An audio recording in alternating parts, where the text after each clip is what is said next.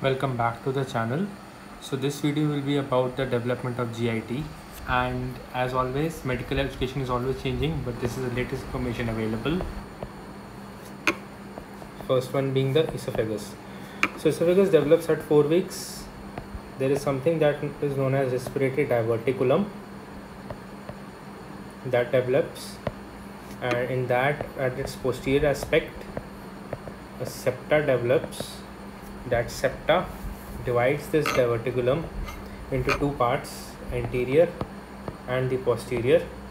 Anterior one leads to the formation of trachea and the posterior leads to the formation of the esophagus. Esophagus is further divided into upper two third lower one third upper two third is striated lower one third is smooth.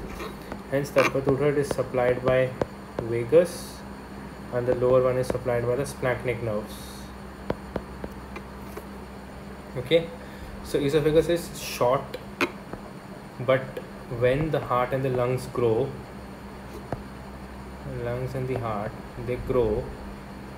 So the length of esophagus that increases. Now the main thing stomach. So basically it again develops at fourth week in the form, form of a fusiform dilation. This word is important. Fusiform dilation.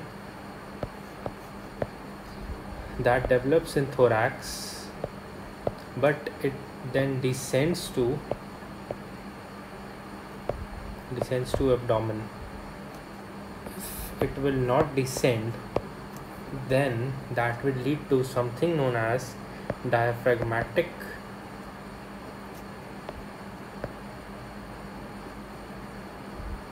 hernia ठीक है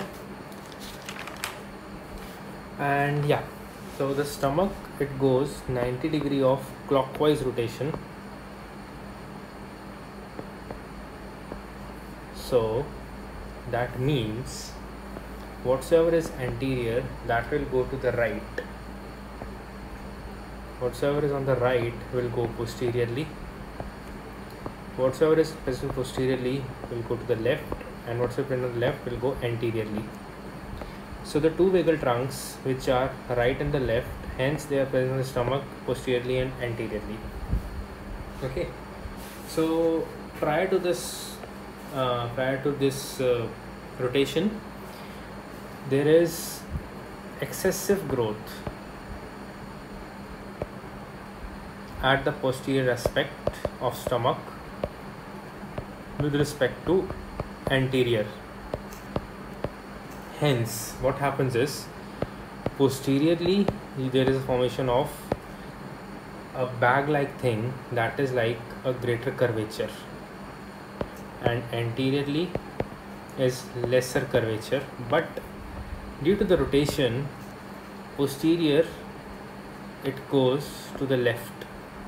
So the greater curvature it goes to the left side and lesser curvature that goes to the right side.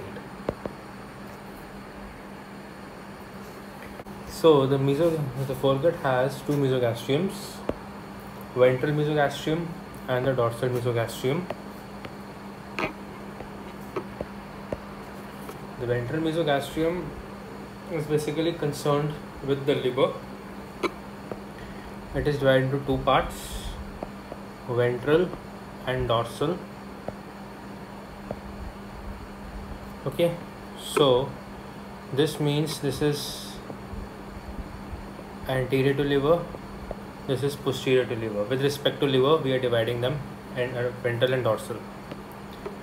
Ventral means that is in the ventral mesogastrium we have falciform ligament and the second one that we are going to have are the coronary ligaments. They are basically linking the liver with the body wall or better to say body wall to liver because we are going anterior to posteriorly. This one they are basically linking liver with stomach. So that is your lesser omentum lesser has your two ligaments. That is hepatogastric and hepatoduodenal. Okay?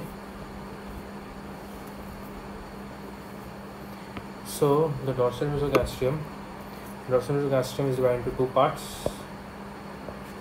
The cranial part and the caudal part the cranial part is small. The caudal part is large. So firstly the caudal part that will give rise to the greater omentum. Greater omentum will go down as the two layers these two layers will then fold upon itself and come up and attach to the transverse colon. This space will get obliterated.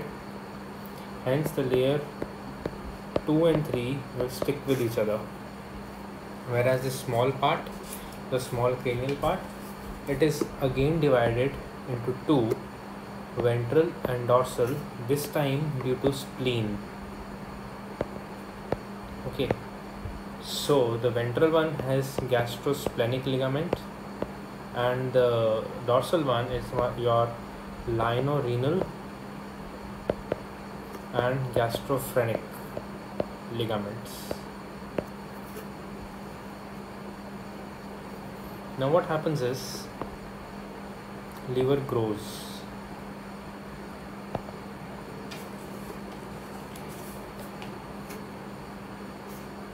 Okay about the liver growth we'll talk later on but before that.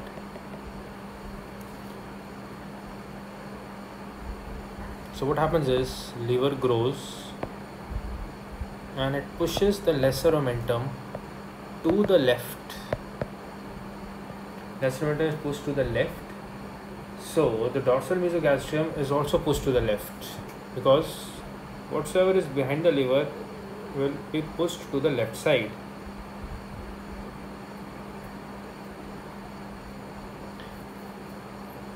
Now what will, ha- what, what will happen is around fifth week spleen will develop.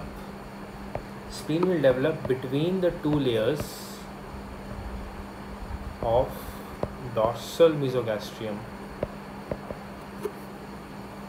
Okay?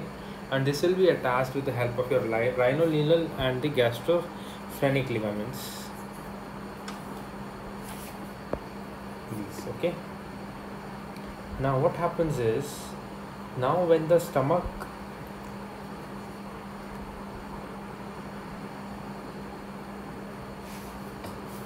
now what happens is basically this ventral mesogastrium is derived from septum transversum.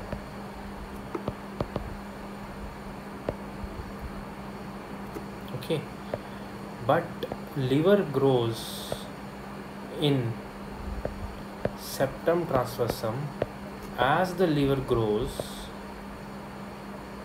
the septum transversum that gets thin. And at the end this septum transversum ends up forming falciform ligament and your lesser omentum okay? It forms your falciform and lesser omentum now all of you know in the gross anatomy of the liver that in the middle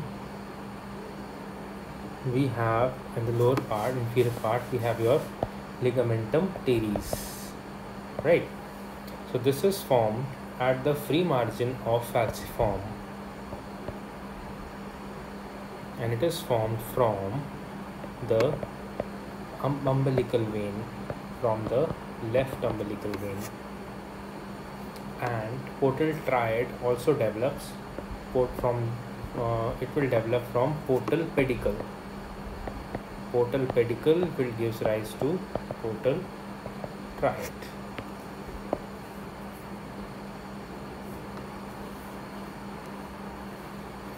Now coming on to duodenum. Duodenum is derived from foregut as well as midgut basically the part where your pancreatic and the bile duct opens proximal to it is derived from foregut and distal to it is derived from midgut. Okay?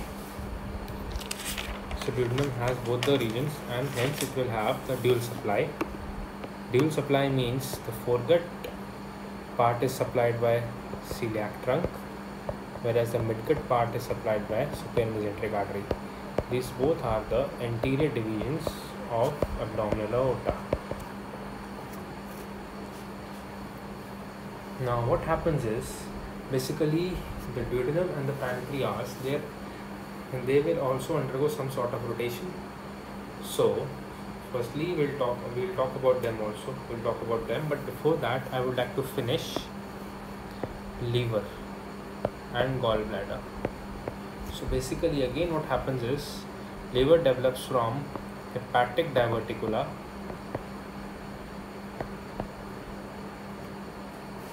that is also known as liver bud. It grows in size as I've already explained septum transversum it thins and finally a small connection is left between liver and gallbladder. Sorry liver and duodenum. This small connection is nothing but your bile duct now what happens is in the in the bile duct at ventral aspect near liver there is a small outpouching that occurs. This small outpouching leads to the formation of gallbladder. But what is this liver bladder parenchyma forming? It is forming the parenchyma of liver and lining of bile ducts in the liver, intrahepatic bile ducts, right? Septum transversum will also form something. It will say that if I am there, I need to do something right. So it will give rise to your Kupffer cells that are your hepatic macrophages, hematopoietic cells,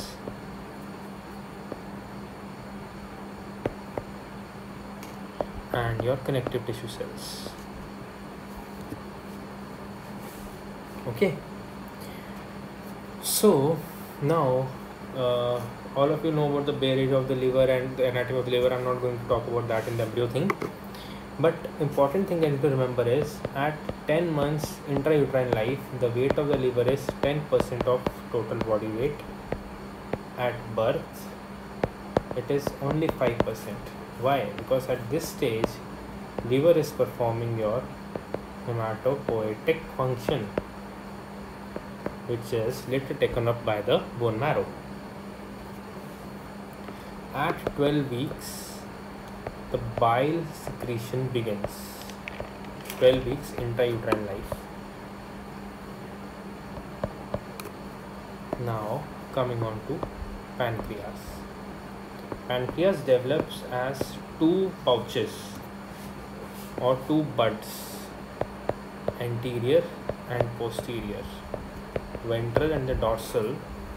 What will happen is the ventral bud will rotate around the duodenum and will go and bind with the dorsal bud. That's the reason why the pancreas we have the main duct and the accessory duct now what will happen is this ventral part ventral bud will give rise to your uncinate process and lower half of head whereas the dorsal bud that will give rise to the rest of pancreas so the main duct will be formed from here whereas the accessory pancreatic duct will be formed from here. Now the most important thing that is about the rotation, the, the 270 degree anti-clockwise rotation. So you have your midgut around superior mesenteric artery. This is your pre-arterial segment and this is your post-arterial segment. This will give rise to everything that is formed from midgut up till ileum that is part of duodenum jejunum and part of ileum some part of ileum will be formed from the post-arterial segment and part of ileum cecum appendix. Ascending colon. The right two-third of transverse colon. Because you know that this is found by midgut this is found by hindgut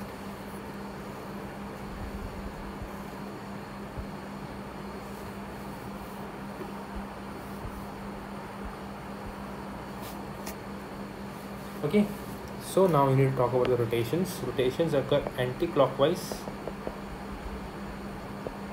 But prior to that you need to know the fact that uh, the space in the abdominal cavity is less. So there will uh, so uh, those bowel loops and all they will herniate and that will lead to physiological hernia.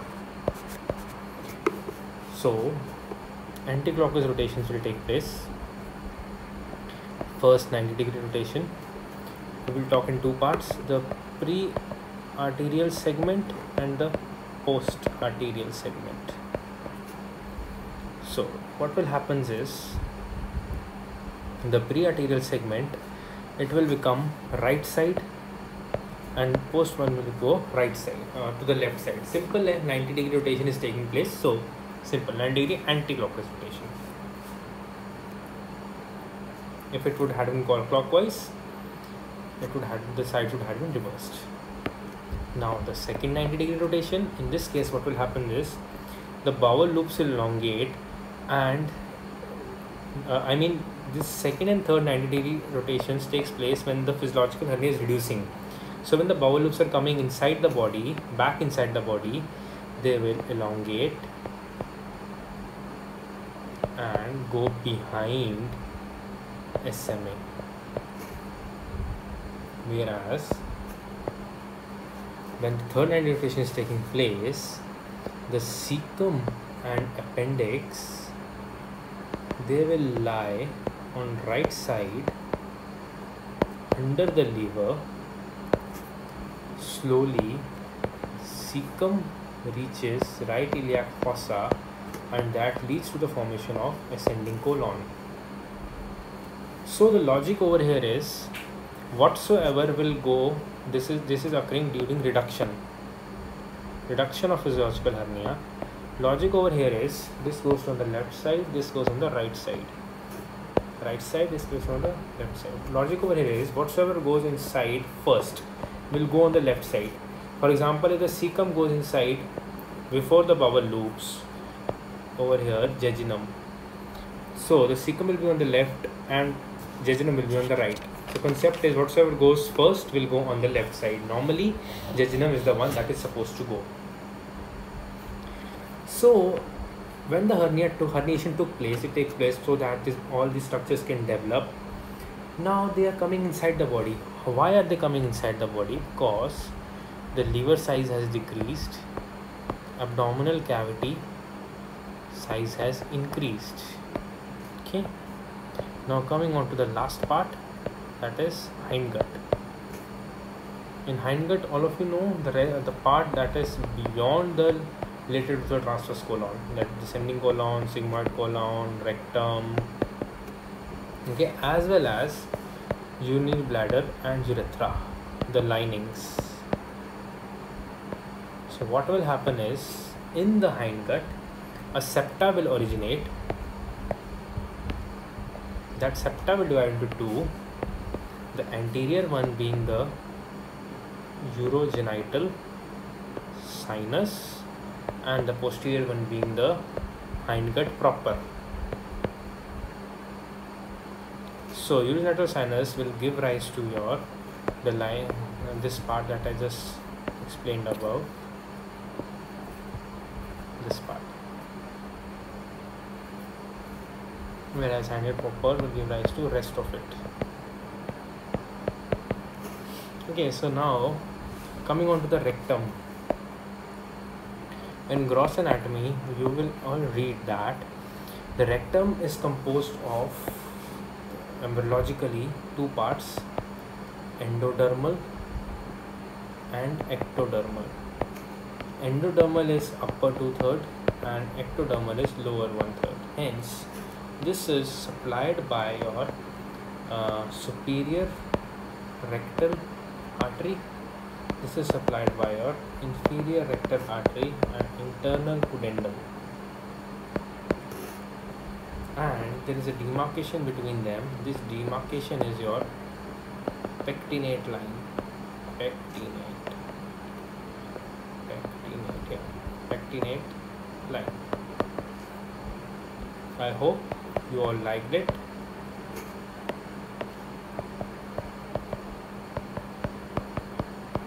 If you have any doubts you can reach me on my instagram that goes by this s my email id is sprabhjot74 at the rate yahoo.com